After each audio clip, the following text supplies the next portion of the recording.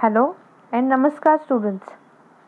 Again, my name is Aisha Khan and I am going to start with English grammar. Last lecture, we had discussed about different different things and different different topics.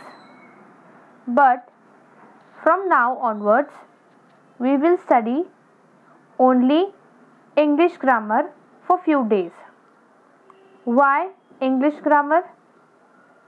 देखो, पहली बात, हम लोगों को English सीखनी है। इसलिए मैंने आप लोगों को कहा था कि जब भी आप छोटी छोटी चीज़ों का नाम लें तो वो इंग्लिश में हो। लेकिन, उसके बाद, अगर आपको इंग्लिश में कुछ लिखना या बोलना है तो इंग्लिश ग्रामर जो है, वो प्रॉपर तरीके से आना ज़रूरी है। इंग्लिश में जो भी आप बोलोगे या हिंदी में आप जो भी बोलोगे, उसमें तालमेल होना और उस लाइन का मतलब सही होना बहुत ज़रूरी होता है। मैंने आप लोगों को पहले लेक्चर में भी कुछ एग्जाम्पल्स दिए थे कि आप जब भी बोलो तो गलत मत बोलो। भले आप हिंदी और इंग्लिश मिक्स करके बोलो बट गलत मत बोलो। बट अब हमें इंग्लिश लैंग्वेज सीखनी है तो उसका बेस जो है जैसे हिंदी में व्याकरण होता है उसी तरह से इंग्लिश में क्या है हमारा ग्रामर है। तो वो सीखना बहुत ज़रूरी। तो आज मैं जो स्टार्ट कर रही हूँ वो सबसे बेसिक लेक्चर है इंग्लिश ग्रामर का।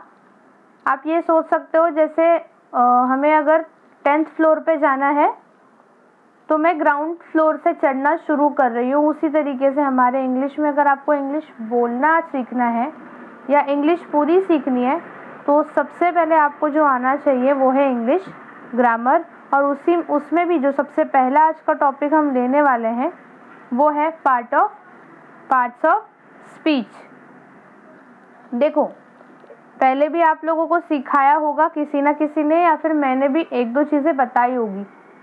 लेकिन आज जो हम पार्ट्स ऑफ़ स्पीच स्टार्ट कर रहे हैं, ये पूरा full fledge parts of speech का पहला पार्ट होगा। हम इसे दो लेक्चर्स में कवर करेंगे और उसके बाद हम इंडिविजुअल टॉपिक्स पे काम करेंगे। लेकिन आज जो है पार्ट्स ऑफ़ स्पीच का क्या है हमारा? इंट्रोडक्टरी लेक्चर है। इसी में हम क्या क्या कवर करने वाले हैं कि पार्ट्स ऑफ़ स्पीच होता क्या है? पार्ट्स ऑफ़ स्पीच कितने हैं? और उसमें से मेन मेन पार्ट्स जो हैं, आठ पार्ट होते हैं उनमें तो हम लोग आज उनमें से दो या तीन कवर करने की कोशिश करेंगे। ठीक है? So let me read aloud all the topics one by one first of all this is topic for today parts of speech under that sub topic is what is parts of speech second how many parts of speech are there next main parts of speech part one understood तो आज हम क्या करने वाले हैं? One by one ये सारे के सारे पार्ट्स ऑफ़ स्पीच जो है हम लोग कंप्लीट करने वाले हैं। एक सिंपल सी डेफिनेशन पहले मैं देती हूँ और उसके बाद में हम क्या करेंगे? जो टेक्निकल लैंग्वेज होती है इंग्लिश लैंग्वेज जो है, थोड़ी सी टेक्निकल लैंग्वेज है, हम थोड़ा बढ़ा चढ़ा कर ही बुक की लैंग्वेज में लिखेंगे। वो आपको बुक में लिखना है, लेकिन आप याद रखने के लिए याद रख सकते हो। वॉट इज़ स्पीच स्पीच क्या होती है? मैं लिख रही हूँ, आप इसको पढ़िए। Something that we speak understood जो भी हम बोलते हैं, वो क्या हो जाती है? हमारी स्पीच हो जाती है। और इसी स्पीच में हमें क्या करना है? कुछ चीज़ें क्या करनी है हमें? जाननी है कि इसके कितने पार्ट्स हैं। जो भी मैंने बोला, उस पूरी लाइन में सब्जेक्ट क्या होगा? नाम को क्या कहा जाता है? है, कहाँ क्वेश्चन मार्क इन सब का कोई ना कोई मतलब है या फिर ये सारे के सारे जो पार्ट्स होते हैं, कोई ना कोई फ़ंक्शन प्ले करते हैं। कोई ना कोई काम करते हैं उस लाइन में।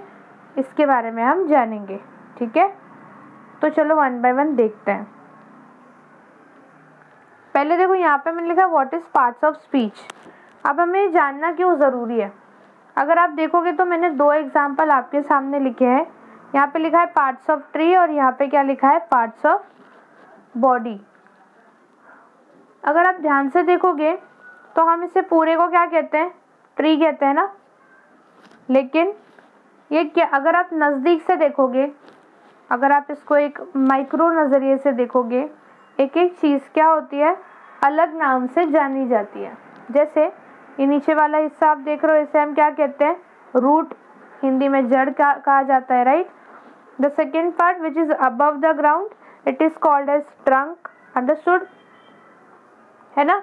उसके ऊपर ब्रांच है उसके ऊपर है ट्विग उसके ऊपर है लीव तो ऊपर वाले पार्ट को कहते हैं क्राउन और जो नीचे वाला पार्ट है वो क्या है? रूट है.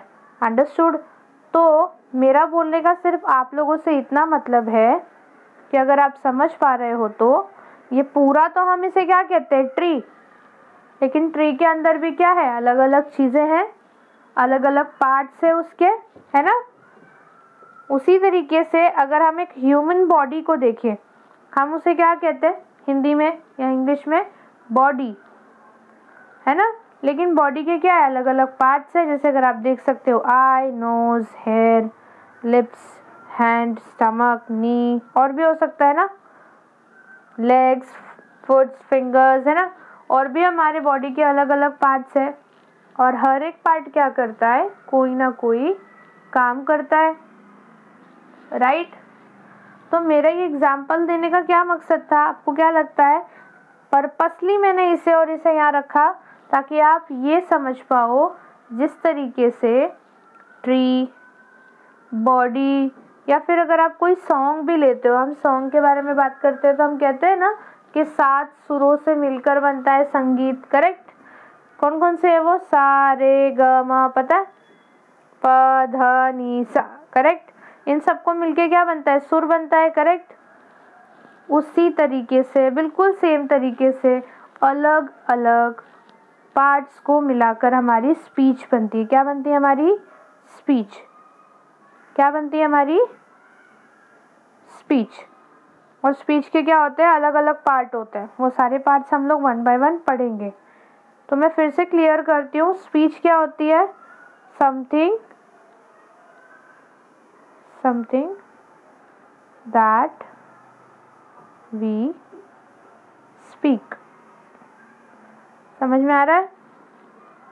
जो भी हम बोले, वो क्या हो जाती है? हमारी स्पीच हो जाती है। और उस स्पीच में क्या होता है? अलग अलग पार्ट्स होते हैं। मैं एग्ज़ाम्पल देती हूँ। अगर मैं कहती हूँ I am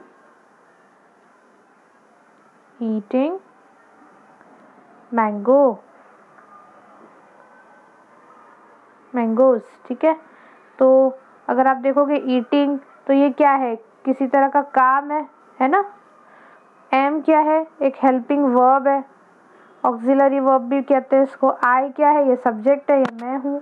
करेक्ट तो इसी तरीके से अलग अलग चीज़ें मिलकर क्या बनाती हैं? हमारी पूरी स्पीच बनाती हैं। तो हमें क्या करना है? धीरे धीरे उन सबको जानना है। चलो आगे आते हैं। सबसे पहले देखो क्या दिया है? Parts of speech first I would like to read all the sentences and after that I will explain it in Hindi okay so क्या दिया है? In a sentence words can be consider as the smallest component that have unique meaning we can categorize words into several types और parts of speech based on their use and function. जैसे कि अभी हम यहाँ पर देख रहे थे, इस पूरे के पूरे ट्री का छोटा सा यूनिक क्या है? लीव या फिर ट्रंक या फिर एट द एंड आप देख सकते हो सीड एक जो बीज होता है, बीज क्या होता है? सबसे छोटा यूनिट होता है ट्री का। उसी तरह से वर्ड्स जो होते हैं जो हम वर्ड लिखते हैं, वो वर्ड्स क्या होते हैं? शब्द क्या होते हैं? एक पूरे वाक्य का सबसे छोटा यूनिट होता है। इंग्लिश में क्या कहते हैं? वर्ड को शब्द और सेंटेंस को क्या कहते हैं? वाक्य। समझा? उसी तरीके से बॉडी पार्ट का अगर आप देखोगे तो मैंने यहाँ पे भी बताया, छोटे से छोटा यूनिट क्या होगा? साइंटिफिकली इसे क्या कहते हैं? टिश्यू टिश्यू जो होता है, वो सबसे छोटा क्या होता है? यूनिट होता है राइट तो उसी तरीके से जब हम अगर पार्ट ऑफ़ स्पीच के बारे में देखेंगे तो क्या होता है? पार्ट ऑफ़ स्पीच उसमें हमने यहाँ पे क्या पढ़ा? सबसे पहली लाइन देखो। इन अ सेंटेंस एक वाक्य में वर्ड वर्ड क्या होता है? शब्द। Considered as a smallest component सबसे छोटा कंपोनेंट का मतलब क्या होता है? हिस्सा। समझ में आ रहा है? तो वर्ड क्या होता है? सेंटेंस का सबसे छोटा हिस्सा होता है और उस हर एक वर्ड का क्या होता है? एक यूनिक एक यूनिक मीनिंग होता है। यूनिक मतलब क्या होगा? सबसे अलग राइट तो हर एक वर्ड का एक यूनिक मीनिंग होता है। We can categorize words into several type और द पार्ट्स ऑफ़ स्पीच मतलब हम क्या कर सकते हैं? कैटेगराइज या पार्ट ऑफ़ स्पीच में क्या कर सकते हैं उसको? बांट सकते हैं, लेकिन बेसिस क्या होगा? किस बेसिस पे बांट सकते हो? अच्छा बेसिस क्या होता है? आधार हाँ? किस आधार पर बांट सकते हैं हम? क्या आधार है? यूज़ एंड फ़ंक्शन यूज़ क्या होता है? वो वर्ड हम कहाँ यूज़ कर रहे हैं? उसके बेसिस पे? या फिर वो वर्ड या वो शब्द वाक्य में क्या काम आ रहा है? समझ में आ रहा है? इसके बेसिस पे हर एक शब्द को अलग अलग कैटेगरी में हमने बांटा हुआ है। ठीक है? Next line is understanding parts of speech is essential for determining the correct meaning of word अगर आपको पार्ट ऑफ़ स्पीच नहीं आती है तो आप वर्ड का सही मतलब नहीं निकाल पाओगे। आपको मैं एक एग्जांपल देती हूँ। अगर आप किसी इंसान से बात कर रहे हो, आपका कोई फ्रेंड है, ठीक है? वो आपसे रोज़ बात करता है फ़ोन पर हाँ सामने से नहीं। फ़ोन पर रोज़ आपसे बात कर रहा है। और जब वो एक दिन बहुत स्लो है, रोज़ वो हेलो ही बोलता है है ना? फ़ोन उठाएगा तो क्या कहते हैं हम लोग? हेलो लेकिन अगर किसी दिन आपके उस फ्रेंड ने फ़ोन उठाया, आपकी उस फ्रेंड ने फ़ोन उठाया और उसने बोला हेलो एकदम स्लो और उदास वॉइस में आप क्या बोलोगे सीधे? आप डायरेक्ट पूछोगे ना, क्या हुआ तेरी आवाज़? क्यों स्लो आ रही है? पूछोगे ना, अगर नहीं पूछोगे तो बहुत ख़राब फ्रेंड हो आप तो। मैं तो पूछती हूँ। समझ में आ रहा है? तो हम जब किसी से बात करते हैं वॉइस में तो हम एक्सप्रेशन आवाज़, उसके लो और हाई होने के हिसाब से ये समझ जाते हैं कि इंसान के उस वर्ड का मतलब क्या है है ना? उसी तरीके से जब हम लिखे हुए वर्ड्स को पढ़ते हैं तो उसका मीनिंग क्या है? सही मीनिंग जानने के लिए हमें किस चीज़ की नॉलेज होना ज़रूरी है? पार्ट्स ऑफ़ स्पीच एक और एग्जांपल देती हूँ, जब भी भी आपकी तबीयत ख़राब होती है, ज़्यादा ख़राब होती है तो थोड़ी वाली नहीं, थोड़ी ख़राब होती है तो घर में हल्दी वाला दूध पी लेते हैं, ठीक हो जाता है ना? जब ज़्यादा ख़राब होती है तो हम किसके पास जाते हैं? किसके पास जाते हैं? मेरी भाजी बोलती है, मैं मम्मी के पास जाती हूँ। लेकिन नहीं, हम किसके पास जाते हैं? डॉक्टर के पास। क्यों डॉक्टर ही क्यों? क्यों डॉक्टर के पास जाते हैं? क्योंकि डॉक्टर को बीमारी ठीक करने की सही नॉलेज है। उसको समझ में आ जाता है कि इस सिम्टम्स का क्या मतलब है। अभी आजकल हम लोग भी बहुत डॉक्टर बन जाते हैं ना घर पे। किसी को थोड़ी सी खांसी आई तो कोरोना तो नहीं है है ना?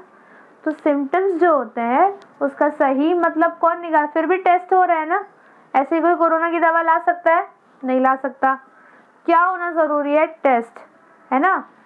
तो डॉक्टर ही है जो सिम्टम्स का सही मतलब निकाल सकते हैं, क्योंकि उन्होंने वो पढ़ाई की है।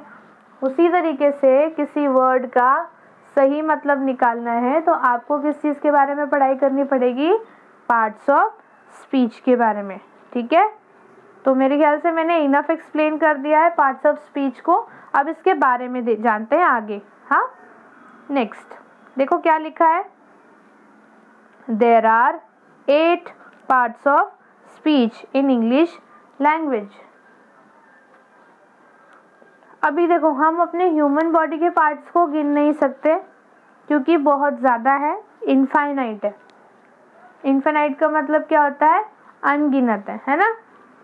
बहुत ज़्यादा है। एक एक टिश्यूज़ गिनेंगे, हम एक एक हेयर्स गिन सकते हैं क्या? नहीं, है ना? तो फिर भी उस, हमने पार्ट्स ऑफ़ स्पीच को जो गिना है, उसके नंबर्स क्या है? कंफर्म है। तो parts of speech English language का जो है, उसमें कितने पार्ट्स है आपको दिखाई दे रहे हैं? यहाँ पे लिखे हुए एट पार्ट्स इंग्लिश में क्या होता है? एट एट का मतलब क्या होता है? असल में आपको पता है ये वाला सिंबल किस चीज़ का है? ये वाला सिंबल है इनफाइनाइट का।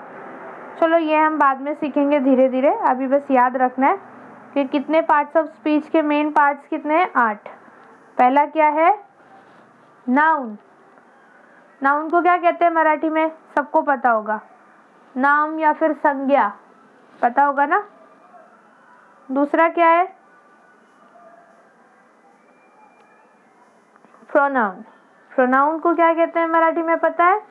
सर्वनाम, जो संज्ञा की जगह लेता हो। समझा?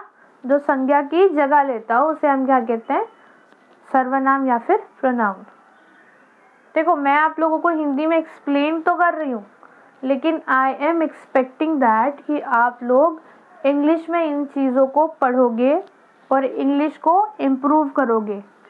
ठीक है? मैं क्यों इंग्लिश हिंदी में आपसे बात कर रही हूँ? ताकि आप लोगों को मेरी बताई हुई चीज़ समझ में आ जाए। ठीक है? If I will start speaking in English in a proficient language as a proficient language what will be happen you would be not able to understand each and every word आपको हर एक मेरा वर्ड समझ में आए, वो ज़रूरी नहीं है। इसलिए मैं हिंदी में एक्सप्लेन करती हूँ। ठीक है? तो आप लोगों ने क्या करना है? आपको अपनी इंग्लिश इम्प्रूव करते रहनी है। आप हिंदी में मत आना। हाँ? तो थर्ड देखते हैं। थर्ड क्या है? वर्ब वर्ब क्या होता है? हिंदी में क्रिया कहते हैं और मराठी में शायद क्रियापद। फोर्थ है हमारा एडजेक्टिव ध्यान से सबकी स्पेलिंग भी देखते रहो। नाउन में क्या है? N O U N noun pronoun की P R O pro N O U N pronoun verb की स्पेलिंग क्या है? V E R B verb adjective adjective को क्या कहते हैं हम? विशेषण. विशेषण का मतलब क्या होता है? किसी तरह की विशेषता बताना. स्पेशलिटी ठीक है? एडजेक्टिव की स्पेलिंग देख लो. A D J E C T I V E adjective next is adverb adverb is nothing but the क्रिया विशेषण देखो, पहली है वर्ब दूसरा है एडजेक्टिव इसे कहते हैं क्रिया और इसे कहते हैं विशेषण और इन दोनों का मिक्सचर जो होता है, वो क्या होता है? क्रिया विशेषण सिंपल है ना? हम ये सारी चीज़ें सीखेंगे one by one ad verb मतलब एडजेक्टिव का एड और वर्ब का वर्ब दोनों को मिला दिया तो क्या बन गया? एडवर्ब उसी तरह से क्रिया विशेषण. नेक्स्ट प्रिपोजिशन प्रिपोजिशन को क्या कहते हैं? शब्द योगी अव्यय. क्या होता है ये प्रिपोजिशन हम लोग आगे देखेंगे. डोंट वरी हम इसके बारे में one by one clearly discussion भी करेंगे और एग्जाम्पल्स भी बताएँगे हाँ? नेक्स्ट कंजंक्शन कंजंक्शन का मतलब क्या होता है? मराठी में आपने सुना होगा, उभ्यानवी अव्यय। जैसे और, अथवा, है ना? इसी तरीके से इंग्लिश में भी होता है। एंड और खमा है राइट ऐसे कुछ वर्ड्स होते हैं जिनको हम इंटरजेक्शन और कंजंक्शन में ऐड करते हैं। अब आते हैं इंटरजेक्शन इंटरजेक्शन का हिंदी में वर्ड होता है शायद केवल प्रयोगी अव्यय। मराठी में भी शायद यही होता होगा, केवल प्रयोगी अव्यय। हम लोगों को इसको इसके इतने बड़े बड़े नाम देख के डरना नहीं है। This is very easy we can easily easily digest all of this हम हर एक चीज़ के बारे में पढ़ेंगे और समझेंगे और होशियार भी हो जाएँगे। है ना?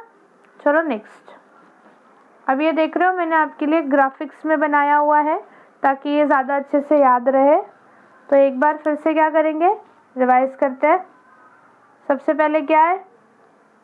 कलर बदलते हैं, थोड़ा अच्छा वाला कलर लेते हैं ना ब्लू लेते हैं। पहला क्या है? नाउन दूसरा प्रोनाउन इंग्लिश में। Noun pronoun verb what is verb next is adjective adverb preposition. Conjunction interjection ठीक है? अगर आपको इसको याद करना है तो चलो हम लोग कुछ करके देखते हैं. Noun pronoun verb adjective adverb preposition, conjunction, interjection. One two three four five six seven eight अगर इसका कोई वर्ड आप लोग बना सकते हो, बना सकते हो क्या? चलो हम ट्राई करते हैं ना? मैं, तुम लोगों ने ऐसा कभी किया है? इसको निमोनिक्स कहते हैं। जब हम लोग किसी भी चीज़ का शॉर्ट फॉर्म बनाते हैं ना, जैसे आप लोगों ने सुना होगा विब ग्योर विब ग्योर, सुना होगा शायद साइंस में? Violet indigo blue green yellow orange and red ये जो कलर होता है ना लाइट के, उनको विबग्योर कहते हैं। तो जो विबग्योर है, उसे क्या कहते हैं? निमोनिक्स इंग्लिश में। तो मैं सोच रही हूँ कि हम इन एट वर्ड्स को मिला के क्या बना लें? एक निमोनिक्स बना लेंगे। तो एक एक करके देखते हैं। कोई वर्ड अगर आप बना सकते हो तो आप भी बना लो। देखो पी टू पी दो बार है ना? तो पी टू ए दो बार है ए टू एन एक बार है, मैंने लिखा एन आई पानी सी पानी सी तो हम लोग पानी सी बोल सकते हैं। पी टू ए टू और वी सी है ना? अगर आप लोगों को याद रखने में मुश्किल होगी, हम आठ कैसे याद रखें? मैडम, बहुत ज़्यादा है। तो हम ऐसे एक निमोनिक्स बना लेंगे। आप अपना ये जो निमोनिक्स बनाने का तरीका है, आप किसी भी क्वेश्चन के आंसर पे अप्लाई कर सकते हो। अगर बहुत सारे पॉइंट्स हैं तो आप निमोनिक्स बना के याद रख सकते हो। हम लोग ये चीज़ डिस्कस करेंगे जब अगर ये कोरोना ख़त्म हो जाएगा जल्दी, और अगर हम ऑफलाइन मिलेंगे तो मैं आंसर याद रखने की ट्रिक्स आपको बताऊँगी निमोनिक्स के थ्रू अभी ये देखते हैं। पी टू मतलब क्या होगा? चलो याद करके देखते हैं हाँ। करेंगे? चलो। हमने क्या देखा था? P two A two N I मतलब पानी सीवी या वी सी जो भी था। पानी सीवी तो पी से एक है प्रोनाउन और एक है प्रीपोजिशन मुझे याद आ गए? एक ए से क्या है? एडजेक्टिव और एक ए से क्या है? एडवर्ब चार हो गए. एन से क्या होगा? हमारा फ़र्स्ट नाउन आई से क्या होगा हमारा? इंटरजेक्शन सी से क्या था? कंजंक्शन और वी से क्या था? वर्ब याद हो गया ना? एकदम सिंपल तो आप लोगों को क्या करना है? ये निमोनिक बना लेना है अपने बुक में और ऐसे याद करना है। तो इजी हो जाएगा। ठीक है? आगे चले। एक एक करके देखना भी है कि नाउन क्या है प्रोनाउन क्या है ना? तो आज हम लोग सिर्फ़ दो ही देख पाएँगे शायद मेरे हिसाब से। उसके बाद में हम लोग अगला जो होगा वो नेक्स्ट वाले में करेंगे। पर टेंशन नहीं लेना है, ये जो दो भी है, इसके भी और भी और ज़्यादा डिटेल में होगा, लेकिन अभी हम शॉर्ट में सीखेंगे, है ना? तो सबसे पहले फेवरेट नाउ स्पेलिंग देख लो N O U N noun इसे क्या कहते हैं? नाम भी कह सकते हो, या फिर आप क्या कर सकते हो?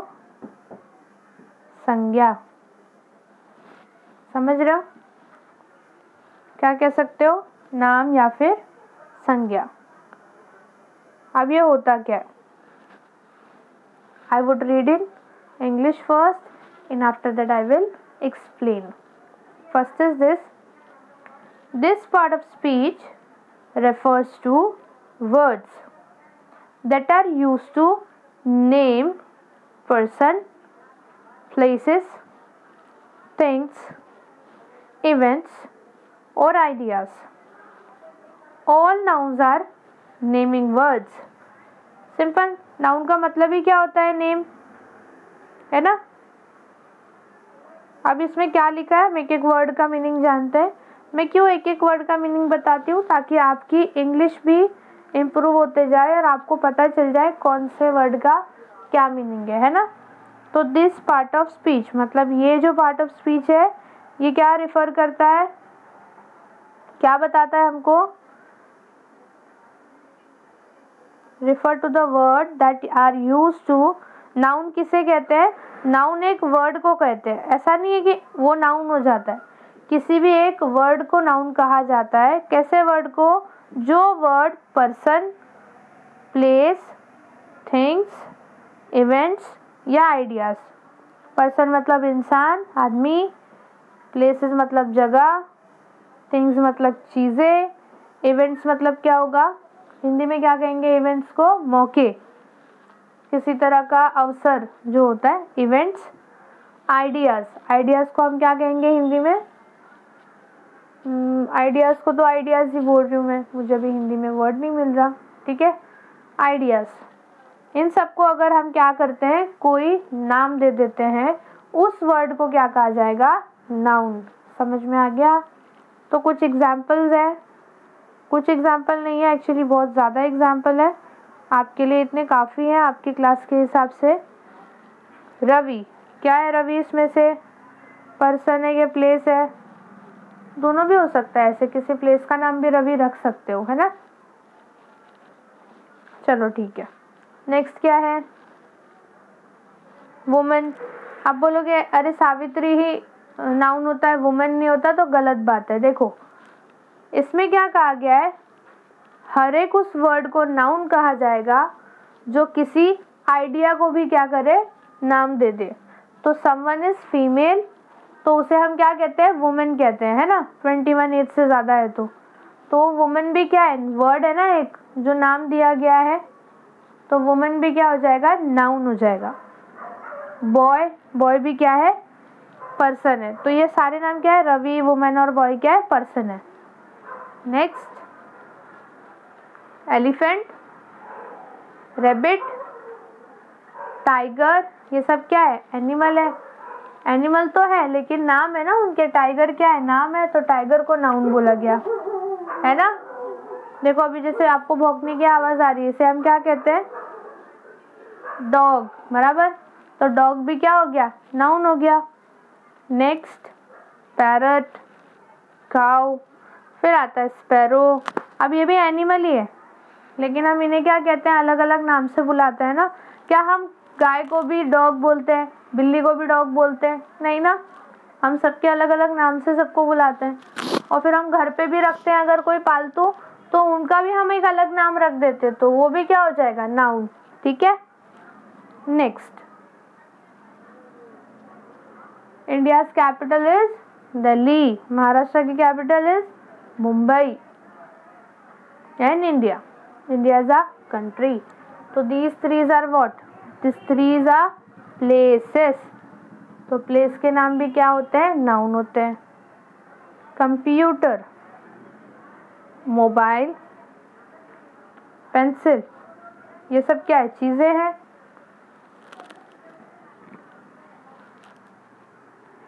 क्या ये सब? चीज़ें. तो इन चीज़ों को भी क्या कहा जाता है? नाउन लेकिन चीज़ों के नाम को नाउन कहा जाता है, ठीक है? कंप्यूटर को मशीन है, लेकिन कंप्यूटर जो वर्ड है ना, उस वर्ड को हम नाउन कहते हैं, ये याद रखना है। ऑनेस्टी ऑनेस्टी का मतलब क्या होता है? ईमानदारी, है ना? करेज करेज का मतलब क्या होता है? हिम्मत, या फिर बहादुरी। बहादुरी ऐसे तो ब्रेवरी को बोलते हैं, वो भी नाउनी है लेकिन ये आइडिया है, समझे? एक्सेट्रा ई टी सी जो है, इसे हम क्या कहते हैं? Etcetera whatever we can see feel और थिंक वापस बोल रही हूँ वट एवर वट एवर का मतलब जो भी वट एवर वी वी मतलब हम कैन कैन का मतलब होता है सकते हैं, क्या सकते हैं? देख सकते हैं सी मतलब देख सकते हैं। फील फील का मतलब महसूस कर सकते हैं। और का मतलब या थिंक सोच सकते हैं। और उनके अगर नाम है। देखो, फिर से मैं बता रही हूँ। कुछ भी जो हम देख सके, महसूस कर सके, सोच सके, और अगर उनके कोई ना कोई नाम है तो उन नामों को क्या कहा जाएगा? नाउन अंडरस्टैंड अब इससे ज़्यादा मैं आपके लिए इसको आसान नहीं कर सकती। अगर आपको अभी भी कोई डाउट है तो आप मुझे पूछ सकते हो। वैसे मेरे हिसाब से मैंने नाउन के बारे में इनफ आपको क्या कर दिया है? एक्सप्लेन कर दिया है। अब मैं आगे सैंपल सेंटेंसेस आपको दे रही हूँ। आपको देखना है और मेरे साथ उसे सॉल्व करना है और ये बताना है कि उस पूरी लाइन में, उस पूरे सेंटेंस में नाउन क्या है? चले आगे, चलो। पहला रीता लिव्स इन इंडिया अब सबसे पहले सबने बोला होगा रीता रीता क्या है? नाउन है। रीता तो नाउन है। इंडिया क्या है? इंडिया भी नाउन है। तो यहाँ पे क्या आएगा? रीता एंड इंडिया दोनों क्या है? हमारा नाउन है। ठीक है? Second Meena uses an ink pen for writing तो इसमें क्या क्या है? मीना है मीना है। फिर क्या आएगा? पेन बराबर? इंक पेन भी क्या हो गया? नाम दिया है ना हमने एक चीज़ को। क्या देखा था हमने? पर्सन है ना? थिंग प्लेस एनिमल आइडिया बराबर? इतनी सारी चीज़ें देखी थी। तो सिर्फ़ पर्सन के नाम पे मत अटक जाओ। न तो रीता देखा हाँ ये है, मीना देखा है लेकिन इंडिया कहाँ गया? इंक पेन कहाँ गया? है ना? ये भी नाउन है। अच्छे से याद रखना है। सिर्फ़ पर्सन नहीं है। Name place animal things ideas places है ना? अब Tina is a very flexible अब यहाँ पे तुम बोलो फ्लेक्सिबल है तो फ्लेक्सिबल नहीं आएगा। फ्लेक्सिबल गलत हो जाएगा। वो नाउन नहीं है। वो आइडिया भी नहीं है। वो असल में एक विशेषता स्पेशलिटी है, उसे एडजेक्टिव में कवर करेंगे हम, ठीक है? ये फ्लेक्सिबल क्या किसी इंसान का नाम है? नहीं प्लेस का नहीं एनिमल का नहीं आइडिया भी ये नहीं है है ना? ये तो ये तो किसी तरह की उसकी स्पेशलिटी है ना? तो ये आइडिया थोड़ी हुई तो हम क्या कर सकते हैं? इसे राउंड में नहीं लेंगे। लेकिन टीना हंड्रेड परसेंट वो क्या है हमारी तरफ़ से? नाउन है। तो मुबारक को आपने सही सवाल, जवाब दे दिया। अब आगे चलते हैं। आगे आपको दिखाई दे रहा है। पढ़ो इसको। दीवा इज़ लुकिंग वेरी फिटी यहाँ पे क्या आएगा? दीवा next today is Harry's birthday तो हैरी कौन है? पॉटर वाला हैरी पॉटर वाला हैरी हो सकता है, चलो, यहाँ पे हैरी हैरी बर्थडे तो हैरी क्या है? हमारा पर्सन का नाम है। तो वो क्या होगा हमारा? Noun my brother is shifting to Calcutta. चलो अब यहाँ पे ये तो है कि प्लेस का नाम कलकत्ता है। ब्रदर आएगा कि नहीं आएगा?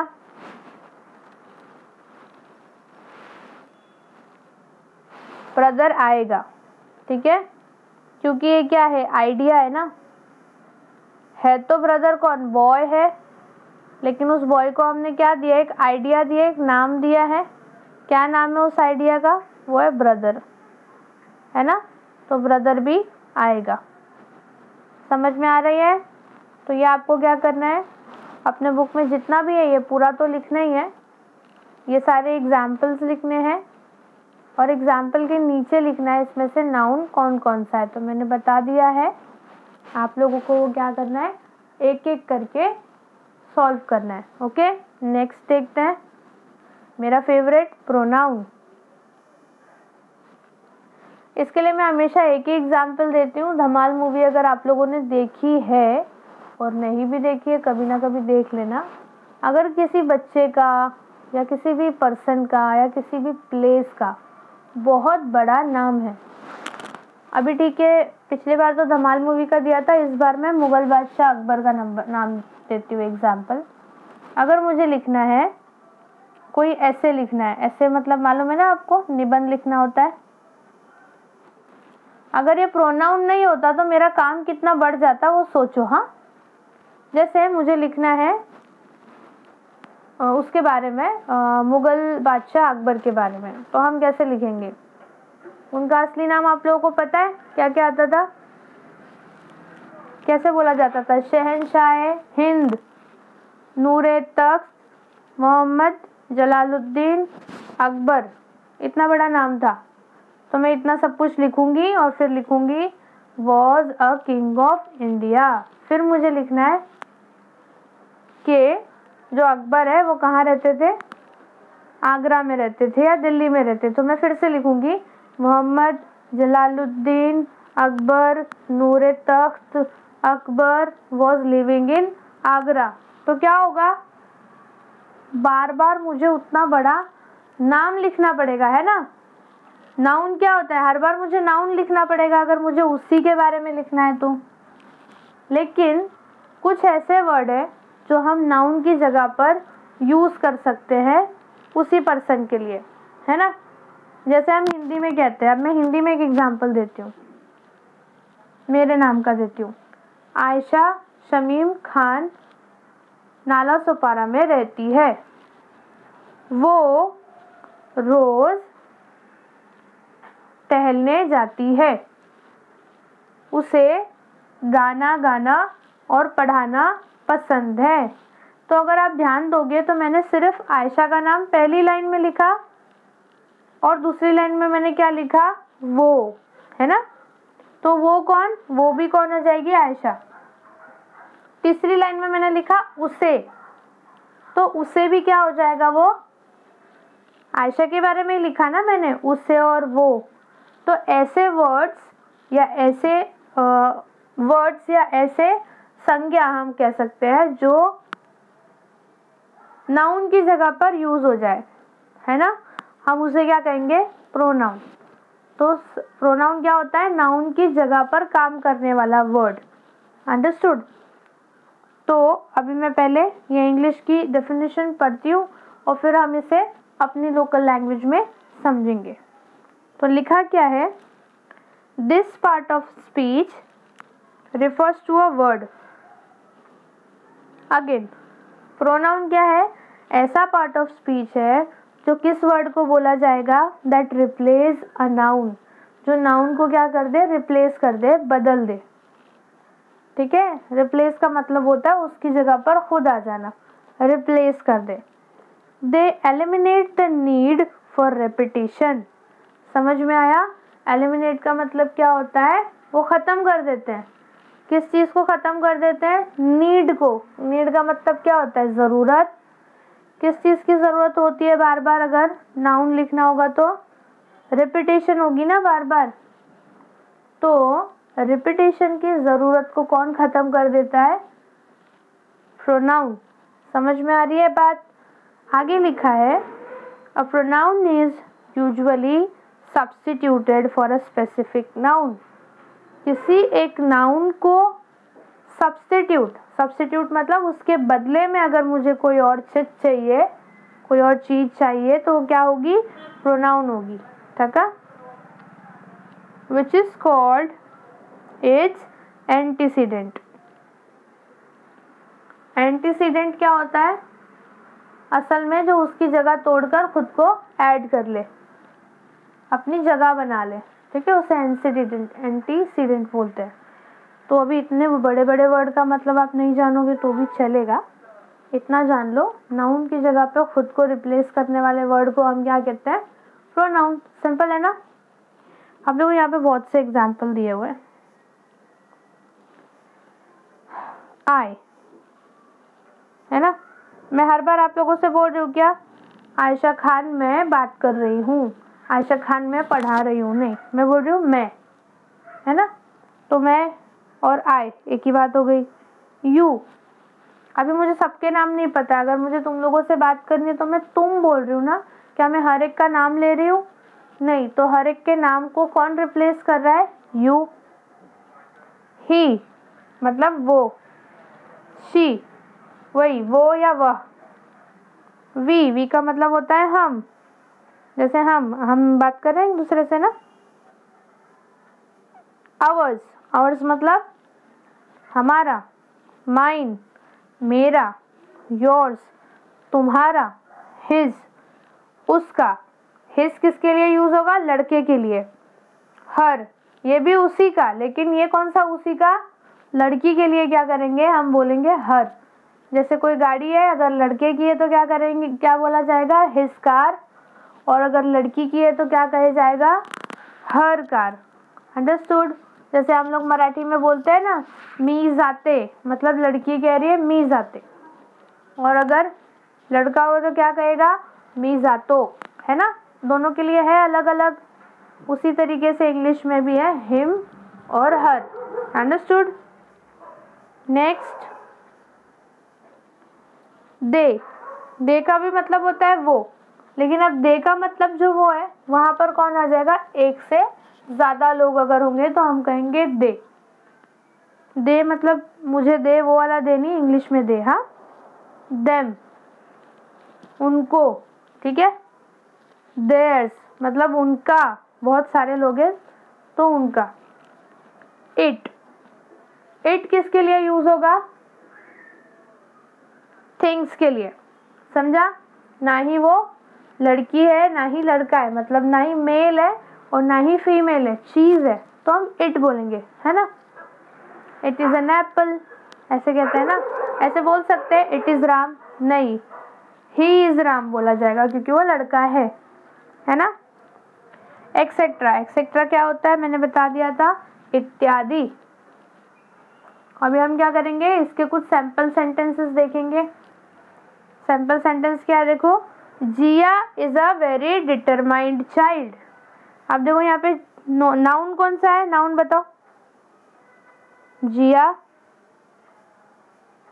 जिया हो गया नाउन क्योंकि ये नाम है।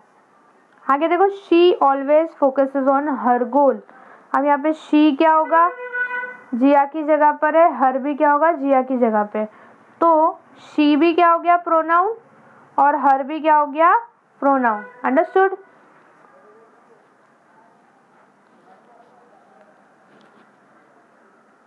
और चाइल्ड क्या है? चाइल्ड क्या है बताओ? ये होगा नाउन हाँ? इतना डिफ़िकल्ट नहीं पूछा जाता, लेकिन फिर भी मैं पूछ रही हूँ।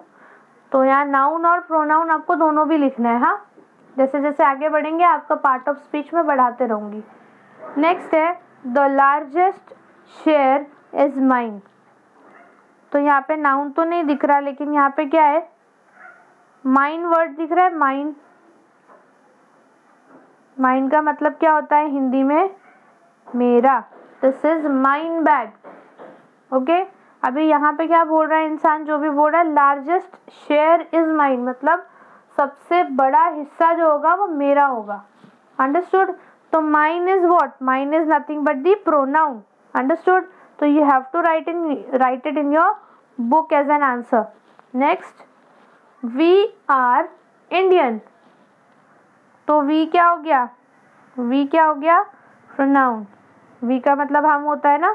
और इंडियन तो क्या होगा? हमारा नाउन ही हो जाएगा। एक्चुअली वो नाउन भी नहीं होगा, आगे मैं बताऊँगी, इसे हम एडजेक्टिव बोलते हैं। नेक्स्ट द टीचर टीचर क्या हो जाएगा हमारा? नाउन हो जाएगा, है ना?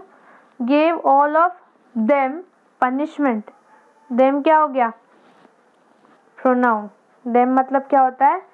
उनको the teacher gave all of them punishment teacher ने उन सभी को क्या दे दी? पनिशमेंट दे दी। अंडरस्टूड तो आपको क्या करना है? अभी तक जो भी हमने लिखा है, वो सब आपको लिखना है। तो अभी तक हमने क्या क्या सीखा? बता सकते हो? हमने देखा what is part of speech कितने पार्ट ऑफ़ स्पीच है? आठ। और उसके अंदर अभी तक हमने क्या क्या देखा? नाउन और प्रोनाउन है ना? दो चीज़ें देखी। तो आप लोगों ने क्या करना है? ये सब लिखना है अपनी बुक में। ये जो सैंपल सेंटेंसेस है, इनको सॉल्व करना है और याद रखना है, क्योंकि अब इसके आगे का जो होगा, वो हम नेक्स्ट लेक्चर में कवर करेंगे। अभी तक हमने सिर्फ़ दो ही पार्ट्स ऑफ़ स्पीच देखे हैं। अगले वाले में हम कितने करेंगे? छः और कवर करेंगे, है ना? तो ठीक है। तो आज के लिए इतना ही काफ़ी है। Thank you to be continue with the next session bye